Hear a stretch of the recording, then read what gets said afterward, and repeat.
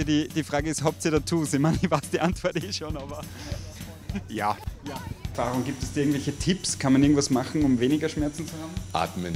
Atmen. Relax, atmen. Ja. Wenn euch ein Kind kommt und sagt, sie will ein Tattoo, ist volle Unterstützung, oder?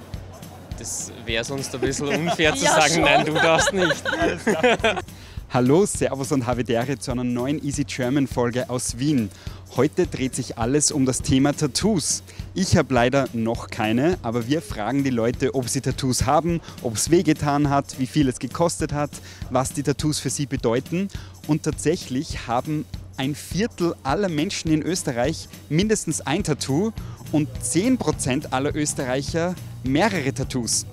Und wir finden jetzt heraus, warum. Los geht's!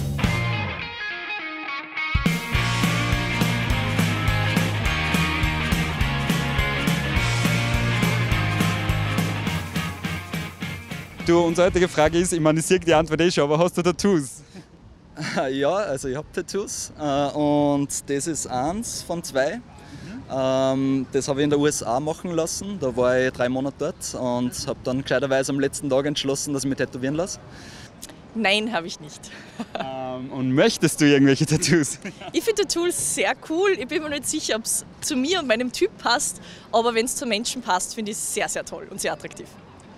Und meine Frage wäre jetzt, wie viele Tattoos hast denn du so?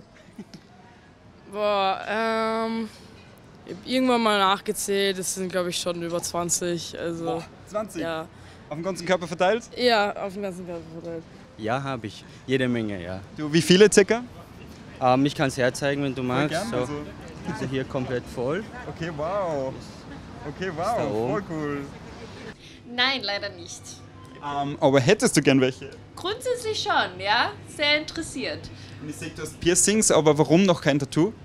Ich finde, dass Piercings irgendwie weniger Commitment sind auf einer Ebene. Also ich kann sie jederzeit rausnehmen und austauschen. Es sieht halt immer anders aus. Und bei Tattoos ist es halt so ein Ding auf einer Stelle für immer. Ja, Viele? große. Oder Okay. ein großes und zwei kleine. Wie groß ist groß? Äh, groß ist der ganze Rücken Okay, wow. und Ah ja, dann Waden. Okay, wow, voll geil. Und wie die Entscheidung, warum ein Tattoo und wie hast du dich entschieden, was du dir tätowieren lässt? Äh, also ich wollte da zuerst schon mal sowieso eins haben, äh, habe aber nie so ein Motiv gewusst irgendwie und meine Mama hat mir dann auf die Reise einen so Schutzengel mitgegeben und der ist mir aber genau gebrochen auf der Reise und irgendwie hat man dann gedacht, ah, Schutzengel, das wäre nicht so schlecht und ich habe irrsinnig gewusst, also ich will ein Gesicht von einer Frau drauf haben, das habe ich so ungefähr gewusst und dann Schutzengel zusammen und dann ist es halt so ein Guardian Angel geworden. Also, dass du jetzt noch keins hast, dann was liegt es dabei noch? Ich würde sagen, aktuell ist es so, dass mich eher das Motiv aufhält, also weder die Kosten, die Schmerzen. Ich glaube, das ist total okay, das würde ich in Kauf nehmen. Aber mein Problem ist, dass ich mir noch nicht sicher bin, welches Motiv ich so auf meinem Körper verewigen will. Für Tattoos sind es wahnsinnig toll, eine Art von äh, Self-Expression, also Selbstausdruck. Aber bei mir persönlich weiß ich halt noch nicht, was ich wirklich in meine Haut tätowieren will. Was ist die Entscheidung, ein Tattoo zu machen und was bedeuten sie für dich? Ähm, ich habe mir einfach nicht viel überlegt, ja. also einfach drauf losgestartet und mein, mein bester Kumpel war Tätowierer, also ist Tätowierer und ich habe ihm gechillt. Und dann haben wir gesagt, okay, ja, spielen wir mal eine Runde Playstation. Und er auf einmal so, ja, gut, dann packe ich mal meine Tattoo-Maschine aus. Wow, ganz Ma spontan. machen wir mal was, genau. Voll cool. Was sind denn so die Geschichten hinter deinen Tattoos? Du darfst ja ein paar aussuchen. irgendwie anders ein bisschen. Das, viele waren von Freunden und so tätowiert. Das war There was a friend, das war ein Freund, das war ein Freund. Das habe ich äh, ausgewählt. Das ist was, was ich mal gezeichnet habe. Äh, auf einen besonderen Trip. Du, wie wählst du aus, was du tätowieren lassen willst? Also, da die Geschichte dazu? also ich mir auch so einen Stern am Tisch und halt der Pendel drüber schau, was ausschlägt. Ähm, also Rücken habe ich selber gezeichnet. Ähm, da waren wir mal fahren in der Uni und habe einfach zum Zeichnen angefangen. Ähm, nein, ich habe also hab das angefangen zum Zeichnen und gedacht, na, geil, das ist ein Uhrwerk, Ur, Uhrwerk, alles was Zahnräder betrifft, gefällt mir. Haben wir gedacht, das kann ich mir tätowieren lassen. Dann ist es natürlich kein normales Uhrwerk, weil es war ja Fahrt. Das hat mir mein Geburtsdatum ein bisschen verdeckt. Also die Uhrzeiger sagen ein Datum an. Quasi, ja. Okay. Also Geburtstag Also das Sonnensymbol für Sonntag, äh, Sternzeichen und das Geburtsjahr. Cool. Das heißt, du hast eher Angst, dass du was machst und dass dir das dann später nicht mehr gefällt? Oder? Ja, grundsätzlich schon. Also mein Style ändert sich auch sehr schnell und sehr häufig. Deswegen habe ich dann einfach ein bisschen Angst, dass es mir dann nicht mehr taugt. Du hast gesagt, du weißt noch nicht was, aber hast du schon irgendeine Idee, was es sein könnte? Ist es eher ein Muster, ein Name, ein Gesicht oder was, was kannst du dir vorstellen als Tattoo? Ich glaube, nicht aus persönlicher Erfahrung, aber ich glaube, Namen oder Geburtsdaten sind immer recht schwierig. Das sind dann die klassischen Herzl, wo dann irgendwie der Name und, und äh, Hochzeitsdatum oder sowas drauf ist, die was dann umgeändert werden. Aber bei mir, ich mag sehr gern solche dezenten Tattoos, also solche Mikro-Tattoos, glaube ich, nennt man die. Ich bin, wie gesagt, kein Experte. Aber wie gesagt, es kann sich alles noch ändern oder das Motiv, wenn es passt, wird sich wird sich's ergeben.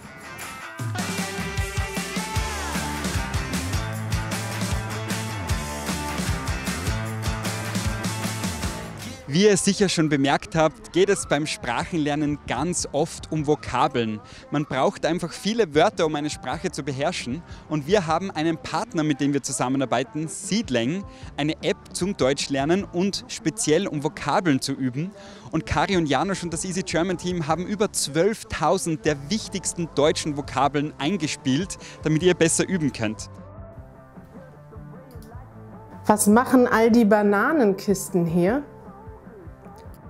Was machen all die Bananenkisten hier?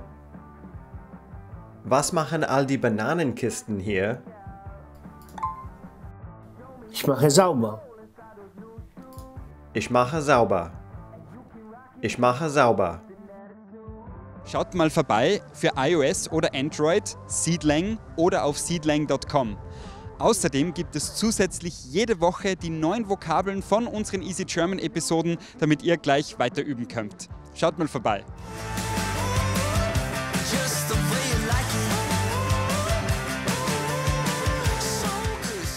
Fragen, die noch gekommen sind, waren die einerseits, wie ist es mit den Schmerzen? Aushaltbar oder ist das was, was eher abschreckt zum Weitermachen?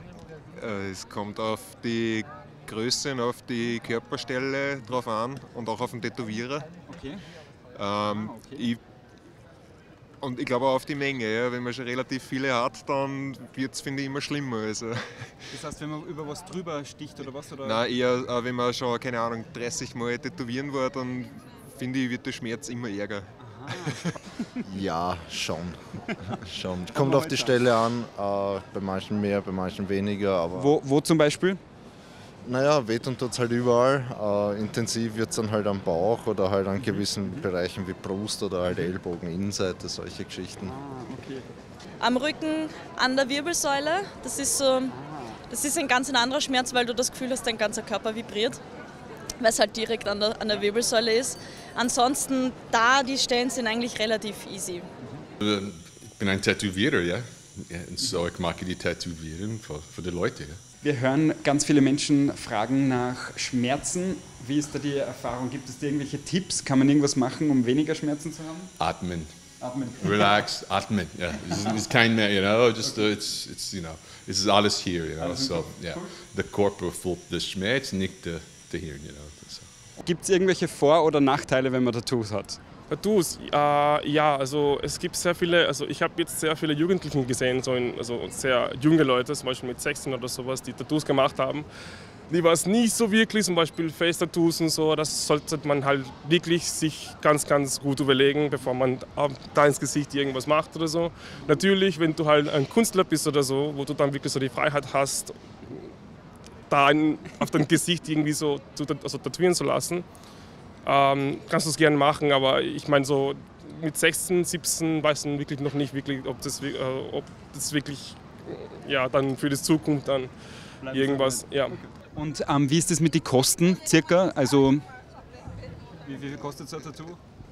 Der, ich mache das schon länger, früher war es billiger, jetzt ist es, glaube ich, schon sehr teuer. Ja. Und wo, ist es eher die Arbeitszeit oder das Material? Oder Ähm, also zahlen, glaube ich, tut man in erster Linie den Künstler und dementsprechend, glaube ich, gehen die Preise auch stark auseinander. Ja, so ab 80 Euro die Stunde aufwärts, je nach Künstler, je nach Aufwand von Motiv und, und Fläche, sagen wir so. Das heißt, du hast schon ein ganzes Investment als Körperkunstwerk. Ein kleines, ja. Super, voll Ein viel cool. Kleines Auto geht sich aus, ein gebrauchtes. Ja. Das heißt, du hast selber Maschine und du kannst das selber machen. Ja, voll. Also, Also gleichzeitig konzentrieren und Ja, ja, es, es geht schon. Also wenn man, wenn man genug Zeit hat, so wie in der Quarantäne. Äh, am Anfang natürlich äh, habe ich immer auf so Kunsthaut geübt und äh, auf Bananen oder Orangen oder so. voll weil cool, das habe ich gar nicht gewusst. Das heißt, das ist ähnlich wie die Haut? Ja, genau, es ist schon ähnlich. Vor allem, ich finde auch, ähm, Orangen und Bananen waren eigentlich ähnlicher als zum Beispiel so Kunsthaut. Kunsthaut hat sich eher so plastisch angefühlt und so. Und äh, Orangen und Bananen waren mehr so smooth, like your skin. Sehr, sehr cool. Gibt es noch vielleicht irgendeinen Tipp für Menschen, die noch kein Tattoo haben, die gerne herkommen wollen, auf was sie achten müssen? Oder? Uh, well, haben keinen Stress, kein, you know, es ist uh, Erfahrung. Es ist nicht nur ein Tattoo, es ist nicht ein T-Shirt, you know. Ja, the music and the atmosphere and the, the, uh, the uh, I don't know, the, the feeling mit, mit der Tätowierer, das ist wichtig auch. So. Wow, das war heute wieder eine sehr spannende Folge und ich glaube, ich bin auch auf den Geschmack gekommen. Ich habe noch kein Tattoo, aber ich habe schon viele Ideen. Mal schauen, dabei traue ich mich noch nicht. Aber wie schaut es denn bei euch aus? Habt ihr neue Wörter gelernt und habt ihr Tattoos und was sind die Geschichten dazu? Bitte schreibt uns wie immer in die Kommentare und wie immer lese ich alle Kommentare genau durch. Vielen Dank fürs Dabeisein und bis zum nächsten Mal. Ciao!